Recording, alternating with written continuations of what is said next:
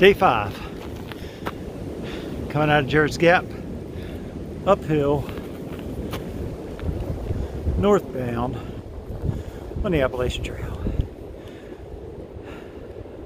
Hoping to make it uh, over Blood Mountain and into Neel Gap by lunchtime. Then I'll reevaluate the situation. I stink. My clothes stink. I need a shower. So I'll see if they have availability there. If not, I might have to dip into town for a night. Take a nero. All right, well, let me get to hiking and I'll get back with you.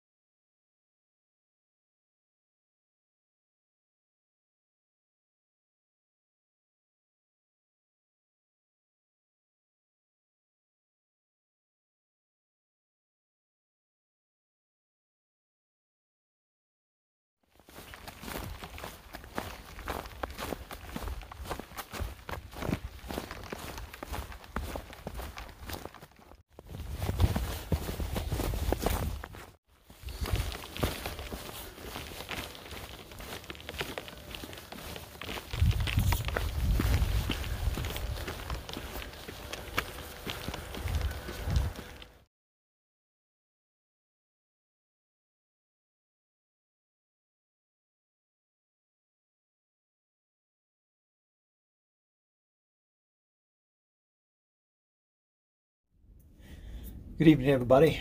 John here. Um, this is day five, Thursday. Um, we got to Neel Gap right around lunchtime and uh, met up with a guy from Baltimore, Maryland. And uh, we decided to nero in here um, at the Blood Mountain Cabins. Um, $36 per person uh, per night. I mean, that wow, that's great. Um, uh, We've had showers. They did our laundry for us. Um, I went over to the general store, ate a couple hot dogs. Um, it's been a good restful day. Opportunity to unpack the backpack, lay everything out, get everything dried out real nice.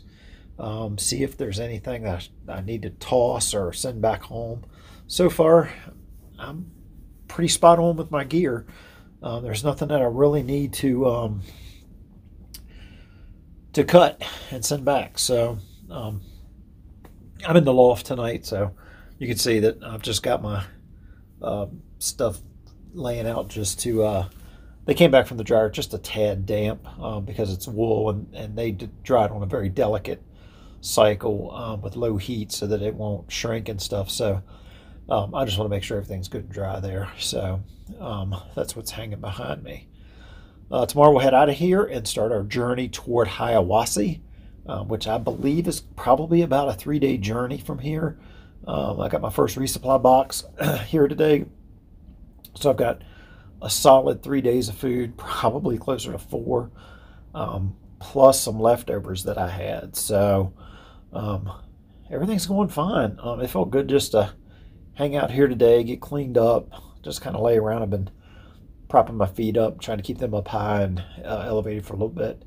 And uh, I think the plan is to roll out of here about 8 a.m. tomorrow. Um, the guy I'm uh, hiking with right now wants to stop by the uh, the store there at Neel Gap, and um, I think there's a couple of things he needs to pick up. So uh, we'll probably do that, and then we'll get to hiking northbound. So um, really haven't had any soreness no muscle soreness. My calves, my quads, everything feels good. Um, my feet are a little sore. Uh, no blisters, so that's a good thing.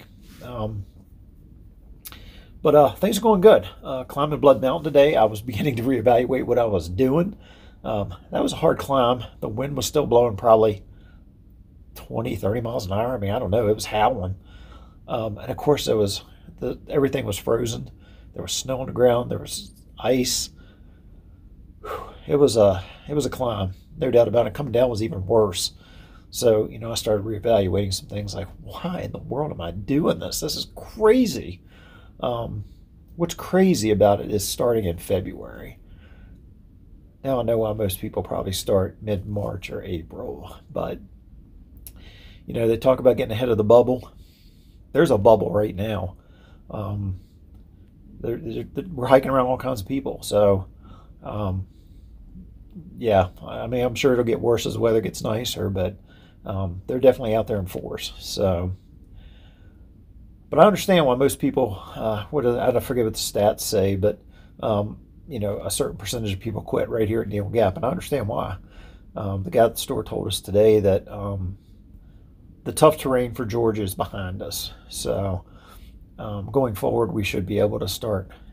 I'd like to start working up and getting 10, 12 mile days, but I'm not going to wreck my feet or, or my knees or anything else just to crush miles. Um, it'll come. Um, I feel better than, than you know, what, what I thought I'd feel. So uh, I appreciate everybody's support. Um, the comments and stuff on YouTube are encouraging. I apologize for not getting the videos out sooner. Um, there's just nothing I can do about that. There is just no cell service. Um, it's tough. I mean, I'm still right now uploading day two and day three video. Um, it's just not going out very fast. So be patient. Um, I'm trying to get them out, get them scheduled. They're probably going to start running a week or more behind because um, I don't like the stress of trying to get it edited and out and then it won't go out. Um, so be patient with me. Um, they'll come out. Just keep you know keep watching, and uh, I hope you enjoy them. And I appreciate your support. Uh, I'm going to go ahead and end it here now so I can edit today's video, which isn't very long because um, it was freezing cold this morning. So I got up, packed up, beat feet out of camp. Didn't even drink coffee or anything. I mean, just a couple of breakfast um, cookies, and phew, I was on the trail. I was gone.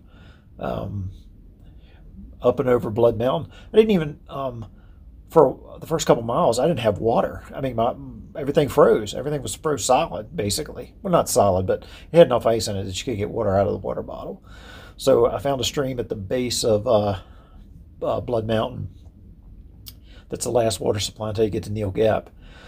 So um, I filled up one water bottle. Um, I used my Aquamira chemical um, sanitizer, I guess, or purifier because I was afraid my filter would freeze. I had it in my pocket to keep it warm enough, but um, so I got that activated and shook up and was probably half an hour, 45 minutes before I even took a drink of that. But I got thirsty today. I've chugged a couple liters today and I'm still thirsty. So, um, got to watch that hydration even in the wintertime. But when everything's froze solid, it's tough. So, but, um, again, things are going good. And, uh, we're going to Nero here tonight at um, Blood Mountain Cabins and uh, hit the trail in the morning and uh, head toward Hiawassee. So see how we do. It might be a zero day in Hiawassee. I don't know.